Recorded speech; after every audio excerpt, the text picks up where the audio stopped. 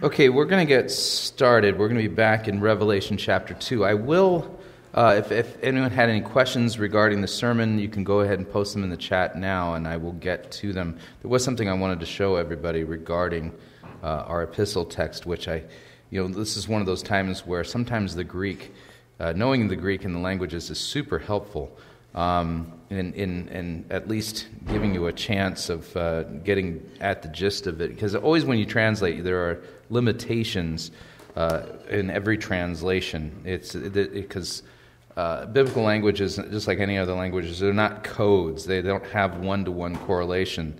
There are words and, and grammatical constructions that um, having an equivalent in, in, in modern English is sometimes tough to kind of sort out. So, you know, as somebody who translates the biblical languages, I recognize the limitations.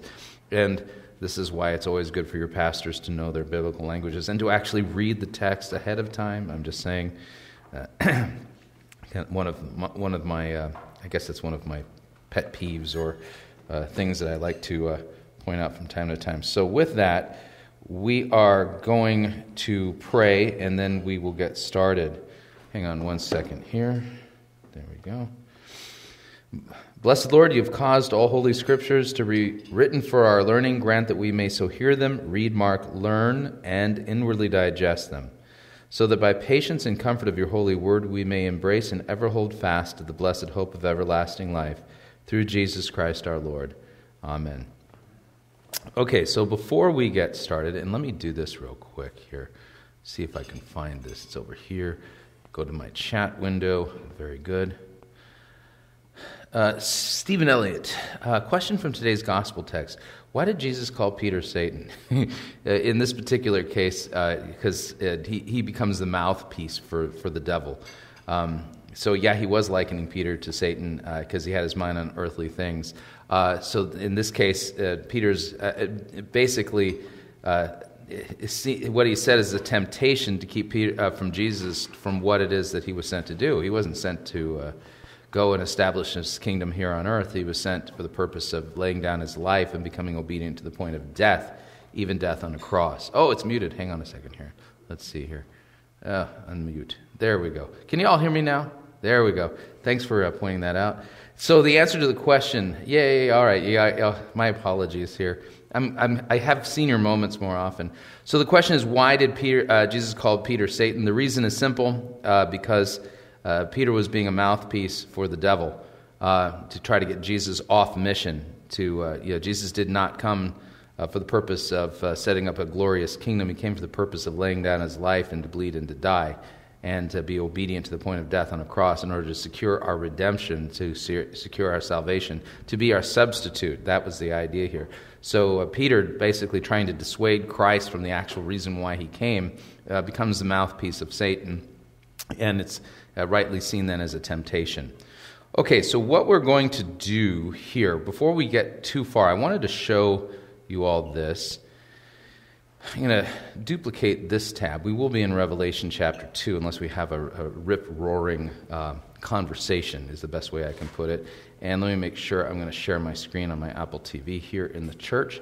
Uh, in Romans chapter, hello, Romans chapter 10, or was it no, 12? My apologies, 12, 12, 9 in the sermon, you may have heard this, and I'm going to bring this out. This is a, a, one of those reasons why knowing your biblical languages is super de duper helpful. And I wanted to show it to you, at least from the Greek, so you can kind of see how this works. And I know it's all Greek to you, but that's all right. I'll, I'll be here to, uh, to walk you through it. So the ESV translates this let love be genuine. Abhor what is evil, hold fast to what is good. These sound like commands. But the way the grammar works in the Greek, it's descriptive, not prescriptive. It's kind of a fascinating thing. And so in verse 9, I'll read this out. It says, Hey agape, anupakritas. Anupakritas. So here it is, hey agape, the love. Okay, hey is, uh, is the, uh, the definite article, the. Agape is love. You've heard that word before.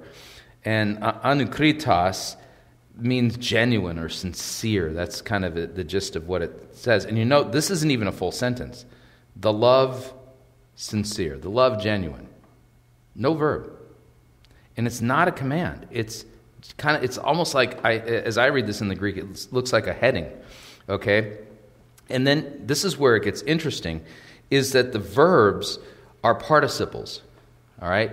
Now I, know that, like me, when you graduated from 11th grade, you did everything you could to forget everything that you were taught regarding English grammar because grammar is just dry and gravity. And the thing I hated worse about grammar class was then those, those lessons that had to do with poetry. Me and poetry don't get along very well. Uh, it's, it's, you know, I'm about as poetic as a Mack truck. Anyway, but the, the point is, is this, is that if you were to think back to your basic grammar, um, when a verb, uh, uh, when, when you have something ending in ing, okay, that's your participle form. Okay, and so here's what's happening here is that you were not seeing a command to abhor what is evil. This is a description of the love that is genuine or the love that is, uh, that is um, sincere. So here we ha- have our first word, and it's, it's a little bit of a mouthful. Um, apostuguntes is uh, how it's pronounced in the Greek. And it's a participle, present active participle, abhor. But it doesn't, when it's parsed out, it's abhorring. Abhorring ta paneron, abhorring the evil. The love that is genuine is abhorring the evil. And then we get uh, this middle uh, passive, uh, you know, verb, glued. You know, I won't go ahead and pronounce everything out, but the, the, the verb here, uh, kalao, means to be glued or fastened, and it's passive. It's not active, and, and that's, the, that's the funny thing. So if, um, you know, you know I, I, think of like cruel tricks that uh, kids do to each other, you know, uh, you know, stunts and things like that. You know, so you take a kid and you uh, and you decide that it'd be fun to velcro him to the uh, the gym wall or something like that. So the kid's stuck to the wall and he can't get down. Everybody laughs because the poor kid had nothing to do with it. That was done to him. But the way the passive verb here is working is is that it's describing that we have been passively glued to the good. It's not saying hold fast to what is good because the verb is passive. You have been glued to the good the love that is genuine. You are abhorring what is evil. You are glued to the good. Uh, te Philadelphia. Philadelphia, we all know what that means brotherly love. The brotherly love unto one another is, is, is well, kind of hard to pull this one into the English, is, is devoted. You are devoted to it, to the brotherly love of one another. Uh, and so you, you see what's going on here.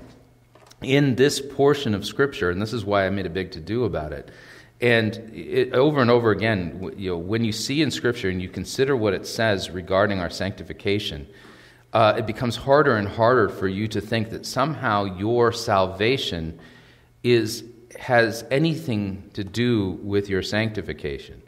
Your sanctification is a result of your justification. Your justification is in no way the result of your sanctification.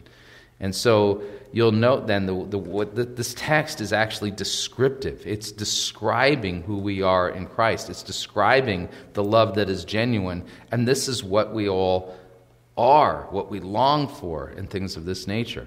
And so, you know, we must always be on the guard against the, the tricks of the devil to somehow sneak our good works in as part of the formula for our justification.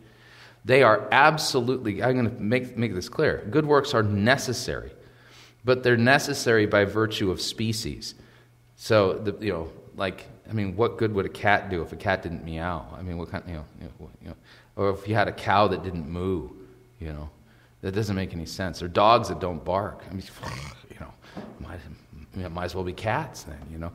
You know but so the idea here is, is that you, you do what you do because you are what you are and you can see this over and over again when you carefully work through and run the verbs in the text in relation to sanctification. So you, you get the idea. All right. In Ephesians, here's the question from Oscar. In Ephesians, when Paul said we must work out our salvation, what did he mean? Actually, it's not in Ephesians, it's in Philippians. And let me show it to you uh, because over and again, that is one of the classic texts that is thrown into our faces you know, from those who, are, who deny salvation by grace through faith apart from works. And I will note this when you see it in context, you're going to go, oh, because the context is so easy on this one. Um, let, now, let me make sure I've, I've got to hunt this down now. Uh, I don't think it's in Philippians 1. I do believe it's um, in Philippians 2. Hang on a second. And if you find it, go ahead before me. Go ahead and throw it into the text, uh, into the chat. I'll, there's only one Philippians. Um, hang on a second here. Yeah, yeah. You know, memento.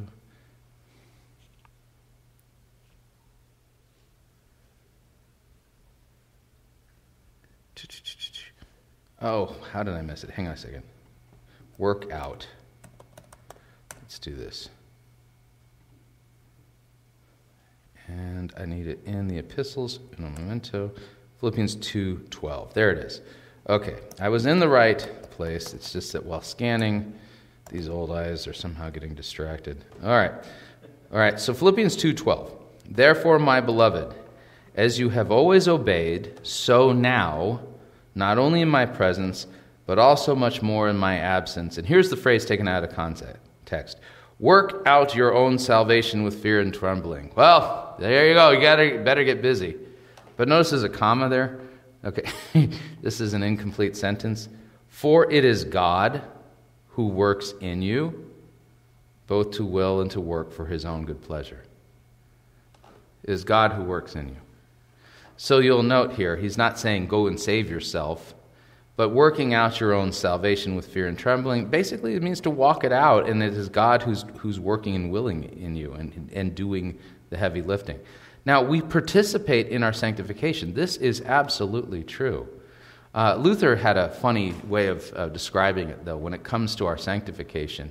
Uh, he, he, he basically says that we are a flea on the back of a horse, you know, and, uh, and God is allowing us to touch the reins, but Christ is the one who has control of the reins, and we're, we're, we're sitting next to him, but uh, we, we have the least bit in our sanctification.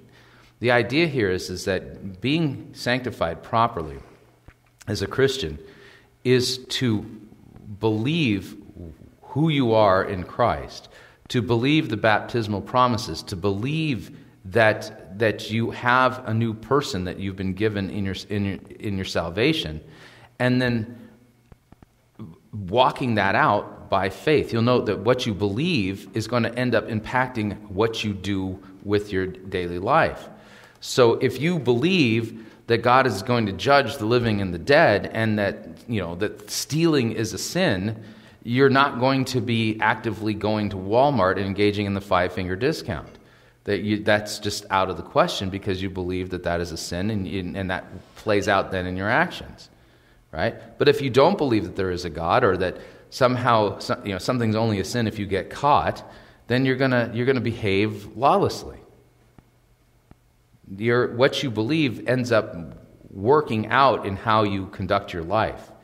So if you believe that you are already saved, that you are a new person in Christ, if you believe that through the power of the Holy Spirit, then you are given the task of daily mortifying your sinful flesh. What are you going to do? You're going to do that. If you don't, do you really believe it? You know? That, that, that's kind of the idea here. So, what we believe always is going to be the thing that's going to inform how we act, right? Okay, all of that being said, there you go. Oscar, I hope that answered your question. Is that Oscar Watmore, by the way? Oscar, what, what's your last name? Is, if if uh, it is if it is you, happy birthday! I saw your birthday uh, messages on Facebook. All right, coming back then, uh, Portillo. Bummer. Okay. well, Oscar Portillo, glad that you're here, and I'm sad that I missed. I I, I didn't get it right. oh well. All right. Well. All right. So now we have more than one Oscar. Okay. All right, Revelation 2:19.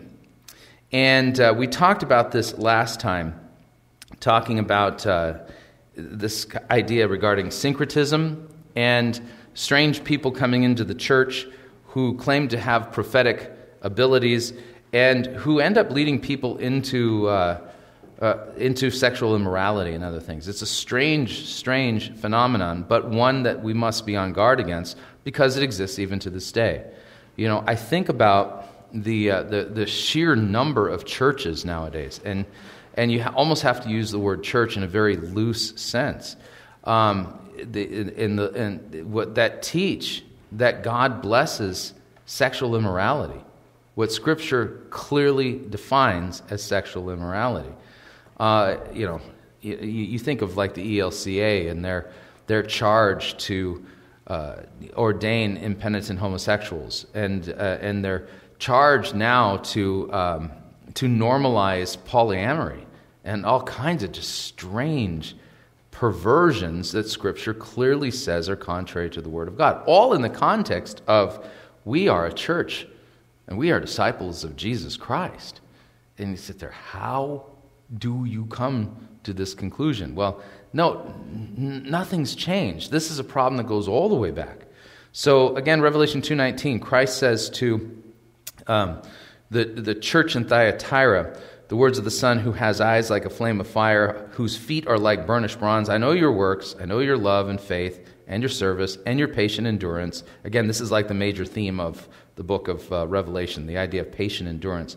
Your latter works, they exceed the first, so you're growing in good works. But I have this against you. You tolerate that woman Jezebel who calls herself a prophetess. uh huh.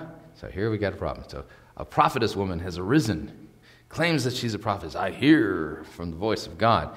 And she is teaching and seducing my servants to practice sexual immorality. Say, what? Huh? Yeah, and to eat food that's sacrificed to idols. You can again think of syncretism here. I gave her time to repent. She refuses to repent of her sexual immorality. Note the patience of Christ. First move when you got somebody, you know, engaging in false prophecy, teaching people to engage in sexual immorality, the first move of Christ is to be patient and give that person time to repent. But they persist in that. So behold, I'm going to throw her under a sickbed. Those who commit adultery with her, I'll throw them into great tribulation unless they repent of her works.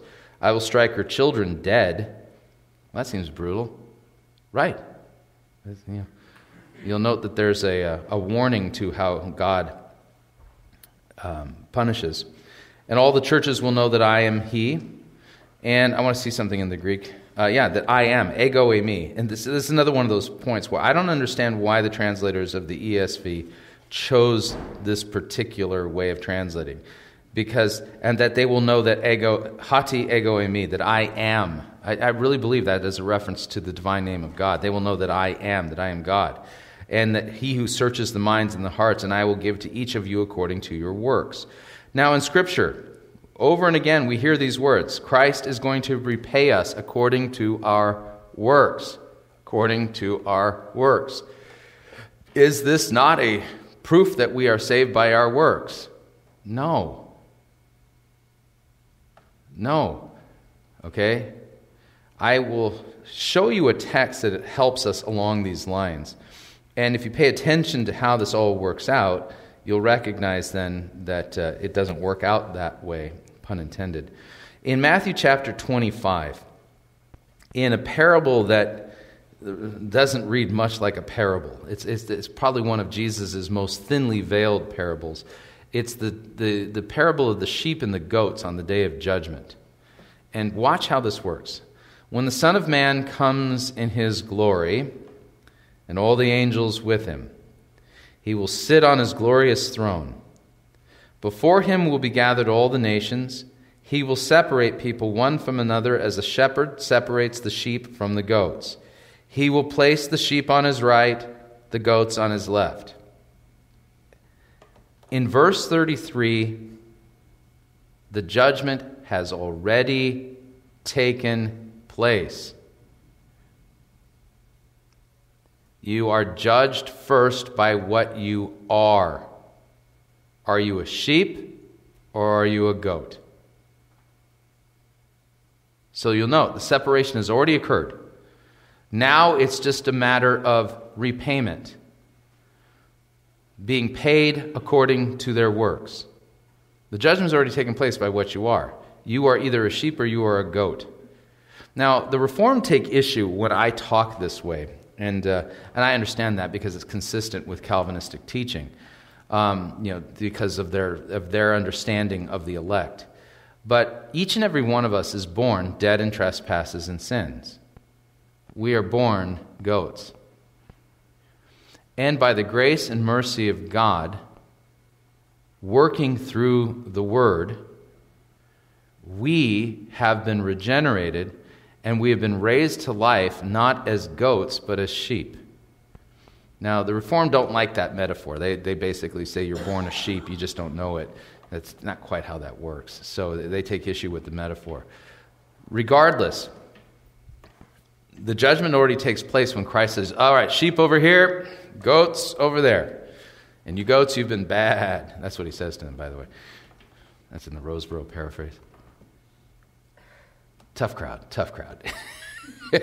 Those of you joining us digitally, I, you can't throw tomatoes at me. Okay. All right. Right? So you know, the judgments already take place. Then the king will say to those on the right. Now, the, those on the right, they are believers. And in our cross reference here, I'm going to throw another cross reference up. And I like coming back to this one because this is, just provides so much comfort.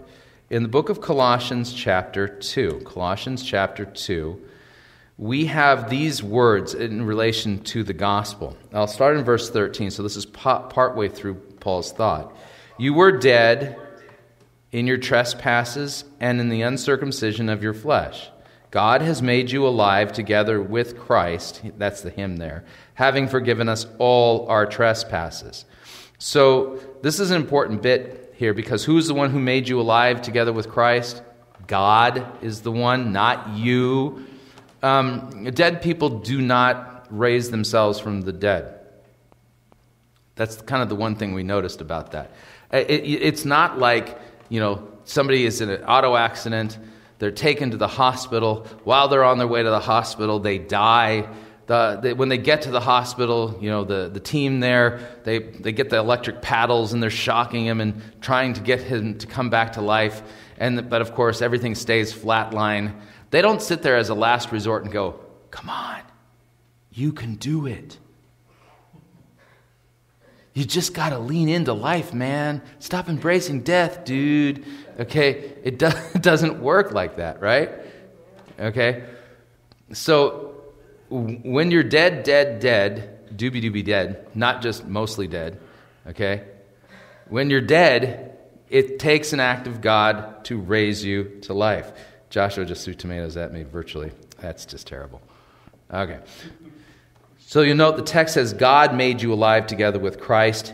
And then watch this, because this is the sentence goes on. Uh, oftentimes, one of the, a good discipline is to learn to ignore the verse numbers and pay attention to the grammar and where the sentences end. Okay, so he made us alive together with Christ by canceling the record of debt that stood against us with its legal demands.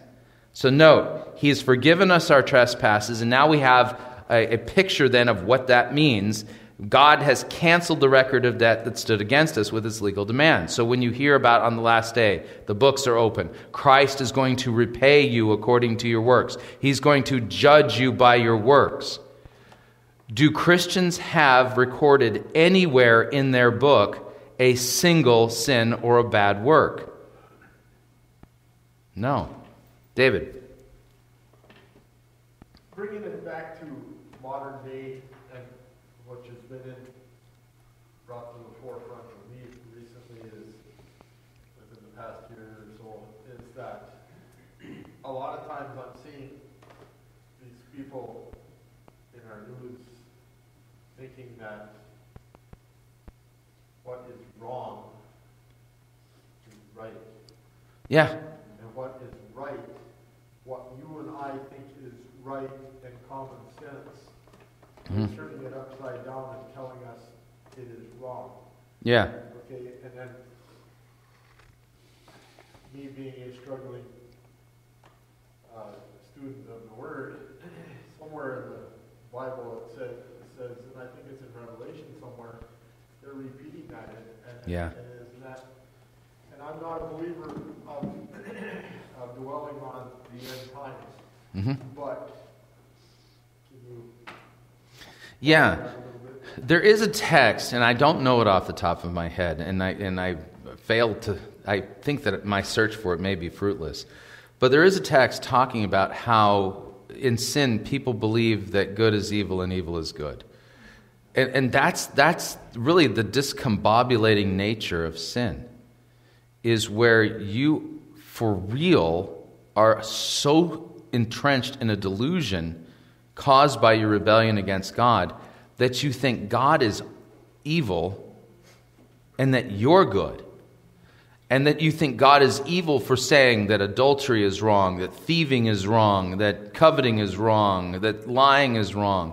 And you, you, you, you, get offended when somebody dares speaks the truth of Scripture and in so doing is saying you're a sinner. How dare you say that I'm a sinner? And so what they do is they believe that evil is good and good is evil. Yeah. Isaiah 5:20. Isaiah 5:20. All right, hang on a second. Let's take a look here. Isaiah 5 verse 20. Question too on that. Yeah, so woe to those who call evil good and good evil, who put darkness for light and light for darkness, who put bitter for sweet and sweet for bitter. Woe to those who are wise in their own eyes and shrewd in their own sight. And that's really the issue, isn't it? How, how can people know what side they're on? And, and I'll tell you how I feel like me as a sinner Mhm. feel today on that. I'll answer my own question. Is sometimes you really don't know if you're right or wrong or upside down, okay? But That's possible, yeah. you, you should feel your faith, you should, you should follow your faith and have faith in God that you are being led in the right direction. For the most part, that works for me. Okay, so you, you went with feelings. Let me give you something a little bit stronger than feelings, something that our feelings can actually follow. Let, let- let me explain. So, how do you know you're, you're on the right side of all of this? And uh, so, let, let, let me ask you a, an odd question, okay? And of course, I can, I can tell that somebody who's going to be watching or listening on the internet, they're going to groan because we're, we're going to go to Nazi Germany for a minute, okay? Yeah. As soon as you play the Hitler card, apparently you lose the argument or something. But. Yeah, what? Godwin's law. Yeah. So let me ask you this um, Six million Jews exterminated by the Nazis. Was that evil? Absolutely. How do you know? It is evil. That is, I Thou I shalt can't not explain it murder. any other way. That Because God tells us. What does God tell us? thou shalt not Thou shalt murder. So, so the idea here is this: is that we, in order to judge ourselves, and note, uh, we're going to start with, with me. You're going to start with you. In order to judge ourselves, we need an objective standard that we can look at, and then that also gives us the ability to make judgments out in the world. I know that Nazi, the Nazi Holocaust, was pure evil because there were people who, contrary to God's command, you shall not murder, were murdered, and murdered in mass, murdered in factory style. That, you know, it was like the industrial age version of murder. I mean, they got it down to an efficiency that is frightening. And that was really kind of the point. In the Nuremberg trials, I believe that there was a movie made, I can't remember the name of it now, um, maybe Trial at Nuremberg or something like that. In the Nuremberg trials, one of the Nazi war criminals tried the, uh, you, you know, you don't have any objective way of judging me. And he, in his defense, his defense was the only reason why I'm on trial for war crimes is because the, the Allies won the war. If we had won the war, the, the things would have been flipped around. And it was an interesting argument, but the, the American prosecutor had to go with something objective.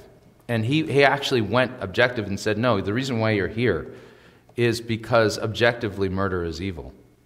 That's the reason why you're here, objectively. And so he had to make an objective argument. So we, we have to understand this. How evil and good are defined is not based upon my feelings, nor is it based upon a vote. You know, if 51% of the population says this is good, that doesn't make a thing good. So in our in our days now, oh, you know, what have we seen happen? You know, in the in the last decade, we've seen the, the United States government redefine marriage and take something that Scripture clearly says is sinful and make it so that that is considered good and it's right. And if you speak out against it, you are attacked and you are considered to be evil. Yeah. Everybody else is doing it. So, and I hear my mom saying, and if all your friends told you to jump off a cliff, would you jump off a cliff too? I I would that's trust Yeah. Else Yeah, else doing it. Funny that you would say that, though, by the way. Dave. yeah, uh, my apologies, my snark went on. Um, but in Romans 1, talking about humanity's really slide into, into sin, uh, you know, consider what Romans 1 says in this regard, though. The wrath of God is revealed from heaven against all ungodliness and unrighteousness of men. And here's the problem who by their unrighteousness they suppress the truth. That's what we do. We all do We all do that, okay? And any of you out there denying that you do that, just give me four minutes with your spouse and I'll debunk it, okay? Because when your spouse tells you you did something wrong, your immediate response is, no, I didn't, no, I didn't. And, and you know, either he or she has to, to you know, wrestle you to the ground before, and get you to say, uncle, okay? My wife has to do that to me. And I, I have to do that with her. And y'all are married to sinners, every one of you, anyway, that are married. It's how this works, right? So they suppress the truth in unrighteousness. What can be known about God, by the way, is plain to them because God's shown it to them. God's invisible attributes, his eternal power, his divine nature have been clearly perceived ever since the creation of the world in the things that have been made so that men are without excuse. So note this then. When it comes to the existence of God, Scripture is clear. There is no such thing as an atheist. God does not believe in atheists. So when you run across some Yahoo saying, I don't believe in God, I don't believe in God, and I'll prove to you God doesn't exist, this, this, is, this is a person who knows that God exists and they are just obsessed with trying to find some way to get God out of their mind, all right, and to suppress that truth. Although they knew God, they didn't honor him as God, they didn't give thanks to him. No, they became futile in their thinking. And so you'll note that with, with the suppression of the truth, your thinking gets futile, it gets delusional. All right, let me continue reading. Claiming to be wise, they became fools, and they exchanged the glory of the immortal God for the images resembling mortal man and birds and animals and creeping things. Therefore, God gives them up to the lust of their hearts, to impurity, to the dishonoring of their bodies among themselves, because they exchanged the truth of God for a lie, and they worshipped and served the creature rather than the Creator who is blessed forever. And then it gets worse. For this reason, God gave them up to dishonorable passions. Their women exchanged natural relations for those that are contrary to nature. Men likewise gave up natural relations with women. They're consumed with passion for one another. Men committing shameful acts with men and receiving in themselves the due penalty of their error. And since they did not see fit to acknowledge God, God gave them up to a debased mind. So you go from futile to debased to do what ought not to be done. They were filled with all manner of evil, covetousness, malice, full of envy, murder, strife, deceit, maliciousness. They're gossips. Yeah, by the way, gossips in this list are worse than homosexuals. Just want to make that clear. Slanderers, haters of God, insolent, haughty, boastful, inventors of evil, and disobedient to parents, foolish, faithless, heartless, ruthless. Uh, This is, this is what I see on the news every night. Though they know God's righteous decree that those who practice such things deserve to die, they not only do them, but here's the last part they give approval to those who practice them. Yeah. By, by knowing that, and, and I've heard that passage a number of times through my growing up. So have others then, Yeah. okay? So why is the forty-nine percent of the people here in the United States doing that? Why? Yeah, I mean, they know better. Okay. All right. So the question is, well, why? Why? Why? They know. They know better, and they're And why are they doing that? I'm going to answer the question in just a minute, but I want to come back to our book, our text in Revelation. So look, I'm going to. I don't, I'm not going political on this. I'm All right. just No, no. Oh, I get it. I get it. I, we'll talk about this in a second. But Josh, you wanted to make a point real quick? Yeah, one of the um, one of the things that people will say, one of the lines of rhetoric you hear from people who are doing calling good evil and evil good, is, and this makes me laugh. I'm on the right side of history. That's that's what their uh, their argument is. Is that I'm on the right side of history, as if history itself is some sort of metric which should be measured by.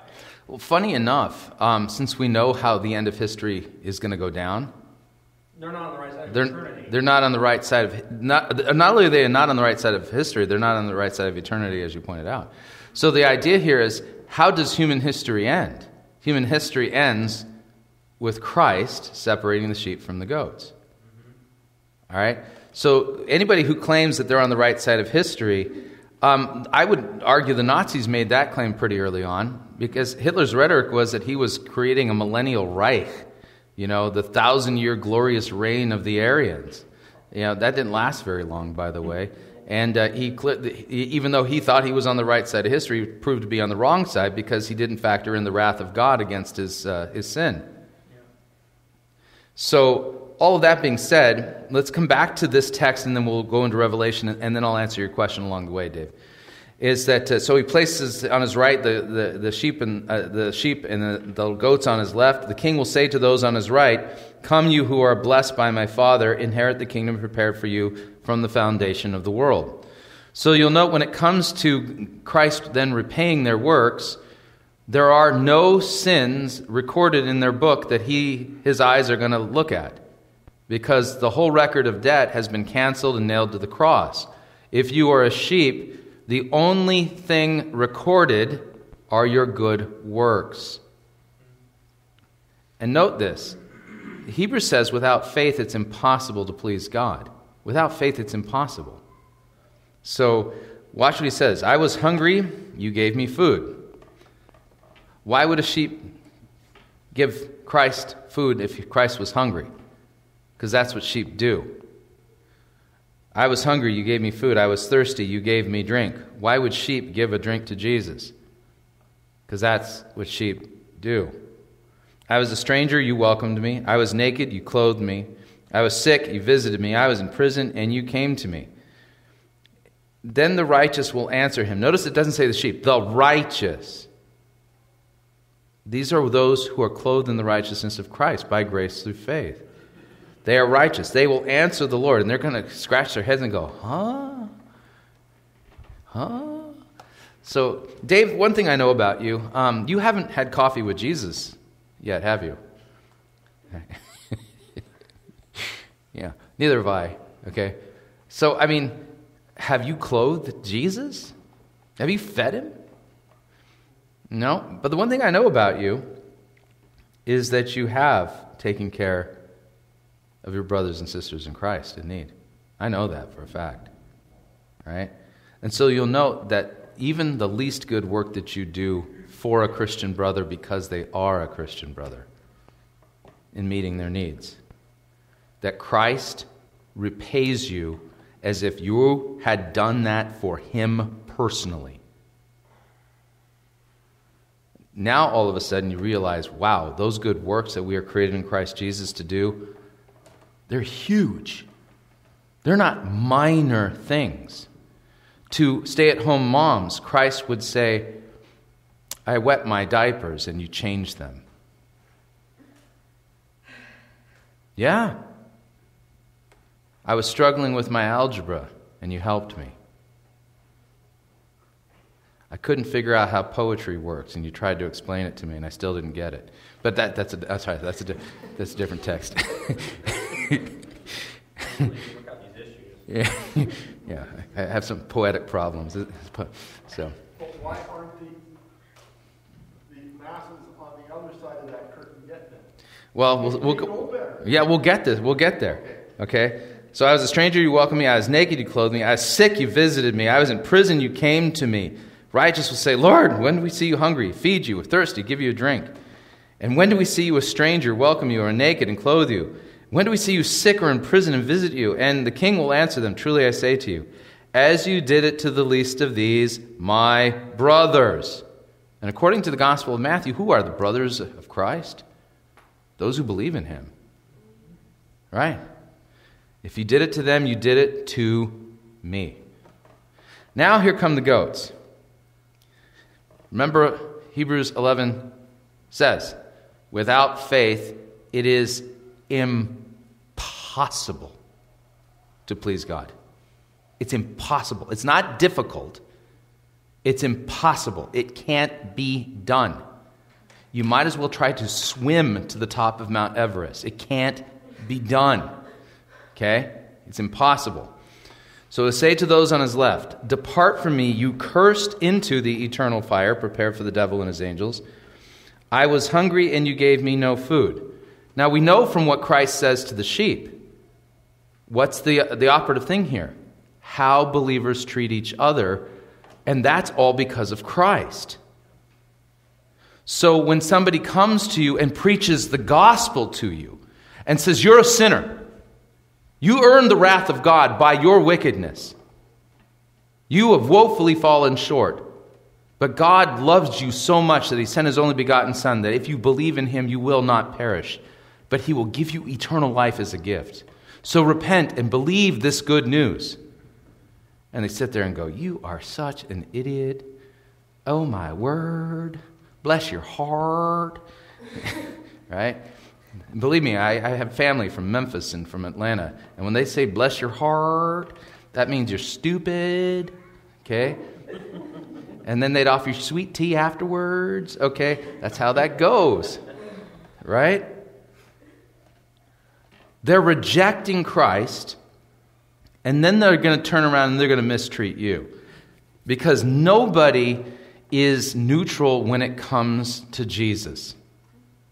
Nobody. You are either at war and hostile towards God, or you are at peace with God because of Christ. And then that peace that we have with God, then we have with each other. We look out for each other. If one of us gets arrested and thrown in prison for preaching the gospel, we're there visiting them in prison. When one of us loses a job, we are there opening up our checkbooks, giving them our money so that they can pay their rent. Because that's what we do for the sake of Christ. But the unbelievers, they reject Jesus altogether. So when his saints and the preachers of the gospel come, they have nothing to do with them.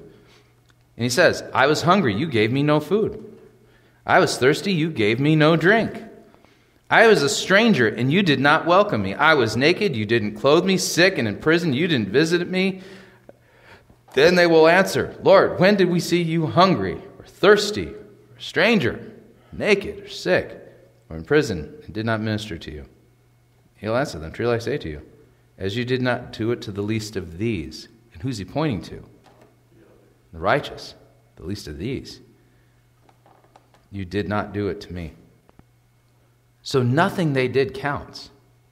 Nothing. Any good, well, uh, well, Jesus, I, I, I, I was the vice president of the Rotary Club in Grand Forks. But, but, but Jesus, Jesus, I, uh, I, I, gave to the poor. I, I worked to stop systemic racism in the United States. You see? And they, these will go away into eternal punishment, but the righteous into eternal life. So when you hear a text where you hear from Jesus' own mouth that he is going to give to each according to their works. Please note, that is absolutely true.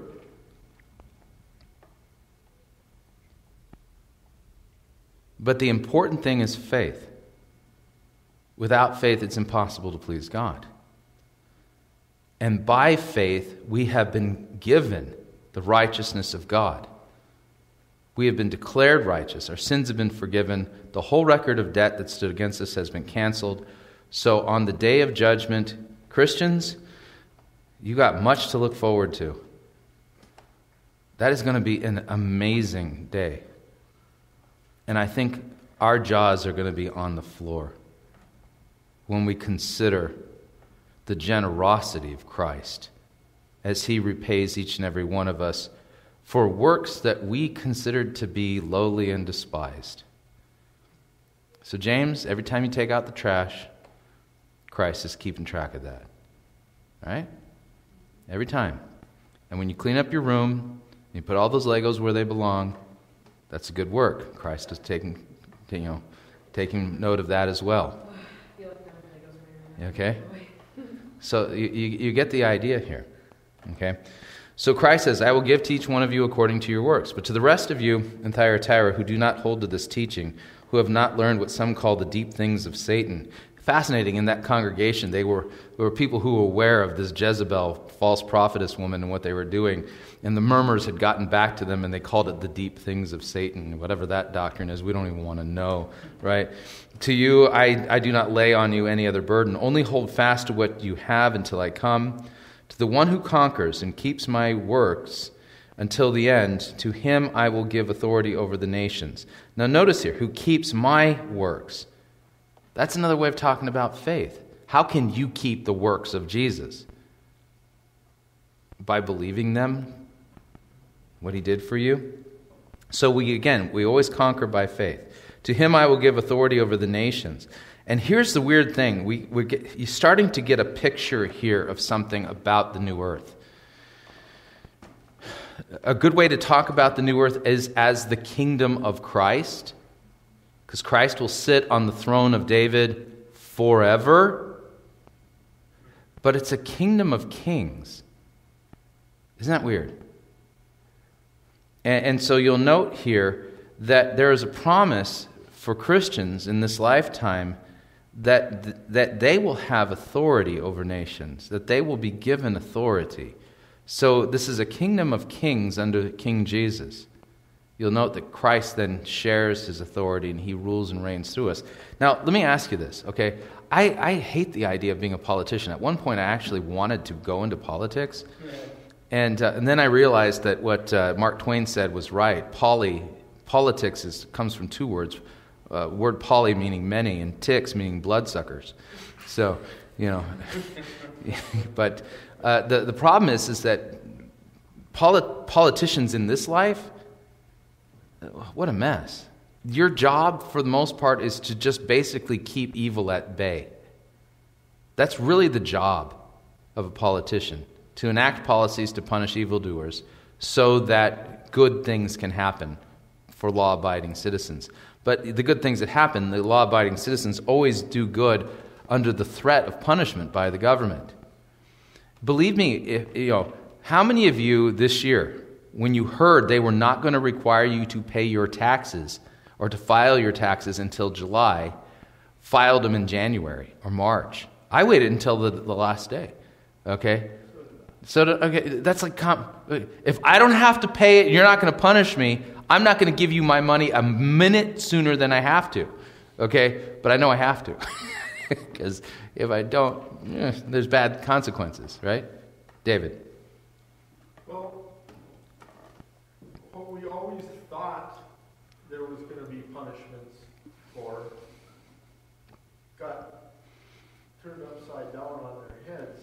Yeah. after these rioting when they're going to. I, I don't understand if, if you're going to hold somebody accountable, and isn't it the government at that point in time to do so? Why yeah. aren't they doing it? And then why are so many people on the side of defunding the police? Why are so many people on the side of letting these people have a have their uh, will in, in, in, these other states. Okay, so let's let's talk about that real quick. Okay, so the question on the table is why why are so many people doing evil and thinking they're doing good? I, if I could rephrase the question. Because here, here's what's going on, and it, people have bought in to a false narrative, and let me explain that, that narratives have power to control our actions. So here's the thing all the people who are burning down Kenosha and burning and rioted and burned down other business and stuff like that, do they believe they are doing evil or do they believe they are doing good? They believe they're doing good. They believe that what they're doing is virtuous. And on top of that, the narrative is because you are silent as you white man, you are complicit in the violence that they claim is taking place in the United States. So, what's the narrative? What's the narrative that's informing them? Their narrative is that racism has never been solved in the United States. This is their, their narrative. So, you have the United States founded during a time when slavery was. Uh, not only legal, was uh, quite the industry, especially in agricultural parts of the United States in the South. And so it was based upon racism. This is how the claim goes. So what happened? We fought a civil war. Civil war, what, we get the 13th Amendment in the Civil War, which puts an end to slavery. Ah, but the narrative points something out. There's a loophole in the 13th Amendment. The loophole in the 13th Amendment is, is that slavery is outlawed unless somebody has committed a felony. And so, as the narrative goes, once the Civil War ended and the slaves were freed, the South systemically went about criminalizing or you know basically coming up with felony criminal charges that every black person then was effectively re-enslaved and became prisoners. And so, the method by which the United States keeps slavery going on to this day is through the criminal justice system.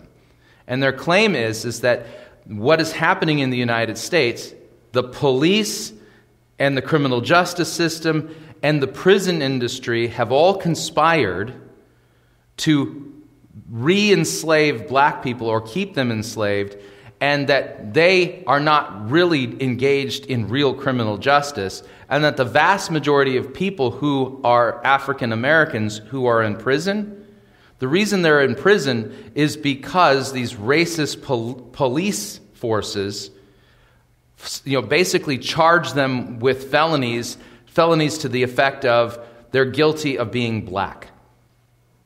You believe that? That's their narrative. Well, that's their narrative. Yeah. So, what they're fighting is the perception or the belief that the United States is still a nation of slaveholders. Rather than them being on the plantation, the slaves are in the prisons. And who are they working for? The slaves are working for Fortune 500 companies who hire prisoners to do work at two, three, four, five dollars an hour. That's the claim. So when you hear talk about systemic racism, why are they defunding the police? The reason they're defunding the police is because the police are the, is the mechanism for enslaving people. That's their claim. well, you need to be educated otherwise. Yeah. And that's the thing. Too bad the public school system is done nothing but reinforcing the narrative. So, in their claim, then, capitalism is the driving force behind all of this. Why do they need to be enslaved? Well, because capitalism. So, the way you get rid of slavery in their Marxist narrative is you basically turn the United States into a communist nation, and there'll be no need for enslaving people because the corporations will be gone, private property will be dissolved. Everybody will become slaves. Ev- you know, In their view, everybody, the United States will become a utopia. of slaves. Yeah. Well, they- Not on my watch.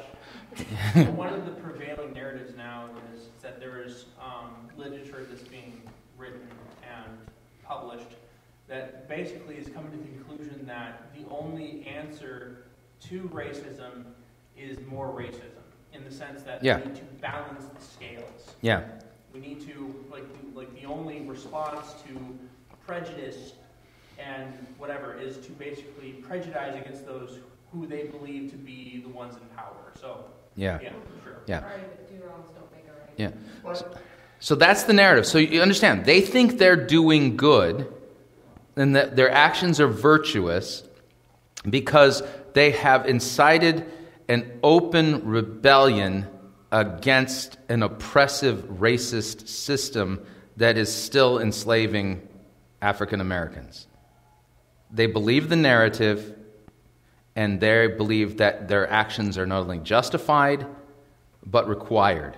The goal is the overthrow of the United States Constitution and the present republic, and the disbanding of capitalism and the enforcing, basically turning the United States into the, the 21st century version of the Soviet Union. That's the goal. Um, do people realize the Soviet Union failed? Hmm? Do people even realize that the Soviet, Soviet Union failed? Oh, but that wasn't real communism. Yeah, that's what they always say. You always point them out. Everywhere this has been tried, it has failed miserably, and people have tried to flee for their lives from this stuff. three or four generations for them to realize that, and the people who were against it before Yeah. are dead now, so they're not there to teach them. Right. So that fears me. Yeah, Because the, our parents, my parents, put the fear in me of what communism could be. Yeah. It's now playing that hand out. Yeah. Because going that direction. yeah. My best friend, People are not listening to us out there. Yep. The school systems, like Josh said, aren't helping us any. Mhm. The, the teachers, God bless all the teachers out there that are trying to do their work in educating our kids, are getting fed a curriculum that is based on the, the, the, the evil that these people, union leaders, are instilling into the writers of this curriculum for all these unknowingly teachers that have been indoctrinated in Mhm. liberal colleges along the way, and I'm not going political here, but it's, it's the truth. Uh, so then they go in and they teach the kids what you just said, what the narrative is, Mhm. and everything is good, and they're going along with it. And I do believe there is more, there are more white kids out there, people on this bandwagon than there are blacks, and I think that discredits them too. So we know it's the school systems that are doing this. yeah. Yeah, and, but uh, that's not the point of our Bible study, but your points are well noted. I don't dis- it is though. I Yeah. asked. Yeah. Well, you asked why. I said, why Yeah. is, are they saying what, right? Yeah, so you're going to note then. Right is wrong. You gave me the, the, the, the biblical part of it. Mm-hmm. I'm giving you the social part of it. Yeah, but you're going to note then, you're going to note then, they believe that they are acting virtuously. That's the weird thing. You can get so turned around that you can justify evil in the context of a narrative. Okay, so what's been taking place? Destruction of property, the murder of innocent human beings. This has been taking place in our streets in the last few months. Not, not one or two incidents. We're talking about, I've lost track of how many different protests there are. How many, okay? Right. So, all of this going on, the people who are instigating this, they believe that they are acting virtuously. They are calling evil good. That's how, and, and the narrative is what's driving They know not what they do. Uh, indeed. Indeed. So, so, okay, here we are, bunch of redneck deplorables out here that are, are standing here. What do we do to fight against this? I can, I can, okay, what do we do to fight against it? Great question. All right, so let me, let me go on a tiny excursus and then we got to wrap up. Okay, and this will be our last thought of the day for now because I, I have to wrap up and head off to serve another uh, congregation. What do we do? The reason why this is happening is because 150 years ago, a little more than that actually now, a book was written by a fellow by the name of Charles Darwin called The Origin of the Species. And the church lost its nerve and abandoned its belief that the Bible is the Word of God. And so, what has happened and what has gone on unchecked in the Christian church is rank unbelief masquerading as Christian piety. People running around the church saying you can't trust the Bible. And rather than preach repentance and the forgiveness of sins, because here's the thing you know why sinners sin? Because they're sinners. Right. And so the, the church long ago stopped believing that the Bible is the Word of God. And you have entire congregations that are set up now. In fact, you have these abandoned urban cathedrals that are like artifacts of a day long gone by. A, a, a cathedral in a city like Chicago that can seat a thousand, and at one point did. And you got 30 gray haired old ladies and a cat who show up with their liberal pastor there, and they are taught the Bible isn't true, sin isn't sin, just do good things and make a difference in the world. That's all that you can do. And they go, Yes, that's right. But the reason why there's nobody in that congregation is because only the Word of God can raise somebody from the dead. The church has been given the task of proclaiming repentance and the forgiveness of sins. And if you don't believe the Bible's the Word of God, you ain't gonna, you ain't gonna preach that. So what happened is, is that when a whole group, I mean a large mass of seminary students were taught this nonsense that the Bible can't be trusted, and they get into the pulpit and they start telling everybody, oh, the resurrection of Jesus is just a metaphor for spring. And it reminds us of when our tulips come back after a hard winter. Rather than preaching that Christ rose bodily from the dead, nobody is believing the truth anymore and the church is not evangelizing, Christians aren't being made. And as a result of it, we're watching in our lifetime the sheer number of Christians as a percentage of our population dwindling and dwindling and dwindling and dwindling. And the people who remain, they're listening to like nonsensical yahoos like Bill Johnson of Bethel or Kat Kerr or some weird freaks out there, you know, claiming to hear the voice of God and they're not being taught the word of God at all. You want to turn this around? Get the heretics out of the church and start telling the world they're a bunch of sinners and that Christ died for their sins and they need to repent and believe the gospel. That's the only hope. People don't want to do that. Of course they don't. Of course they don't. That would cause conflict. So the, the only hope to turn this around is the gospel. Period. There was a time when I didn't want to do that. Well, yeah, I don't want to do that every morning. But, but, but, uh, but, it comes to a time where we need to settle this unrest and either or die for it later on. Yep, yep. Okay. All right, real quick here. Uh, Carlos says, How would double predestination fit in here if God is giving a chance for repentance? Um, you're going to note, Carlos, in this particular case, technically, we're supposed to be, uh, he's writing to a church, so you're supposed to be talking to somebody who, Christ is supposed to be talking to somebody who is a, a believer who's supposed to be repenting. So if they were chosen not to be elected, why bother offering repentance? I, your, your point is well taken, by the way. This first negates double predestination, limited atonement. In one sense, it does. I agree. Oscar Portillo says uh, the text in Revelation says, "Be hot or cold, but not lukewarm." You're getting ahead of me, Oscar. You're getting ahead. Uh, that's for the church of Laodicea. We'll get to that maybe next week or the week after, because he'll spit you out of his mouth. What does that mean exactly? Does it mean you can lose your salvation? Like I said, we will talk about that when we get to the letter to the church of Laodicea. So I would say, stay tuned. Bless your heart. It's all about context, context, context, indeed. How should we interpret crowns of rewards in relation to works of righteousness? I think, Carlos, you answered your own question when you recognized that we throw our crowns before Christ. it's like we're not worthy of them anyway. I, I look terrible in the tiara, so, uh, you know, I, I have no problem giving it back to Christ. All right? So you get the idea. All right, peace to you, brothers and sisters. I've got to go because I have another congregation to serve. We'll see you guys, Lord willing, next time.